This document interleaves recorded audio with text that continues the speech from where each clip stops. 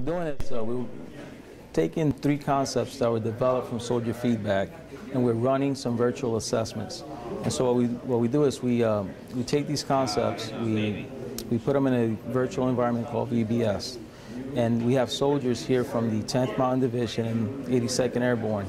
And the same soldiers that participated in the Soldier Innovation Workshop, which helped develop these concepts, are actually here fighting the concepts in a virtual environment. So the things that we focused on both at the Soldier Innovation Workshop and for this effort was measuring mobility of the platforms.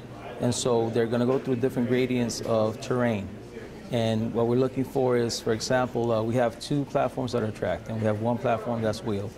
And we're trying to determine which one of these operates best in different terrains. We also are looking at lethality and also trying to determine which one of these best provides the lethality that the units will utilize and best uh, meets their needs to free their movement to the objective. We're also looking at uh, survivability of the platforms. Because these are different uh, weight categories of platforms, we range from all the way from a light platform to a, uh, we can call it a medium uh, platform in weight.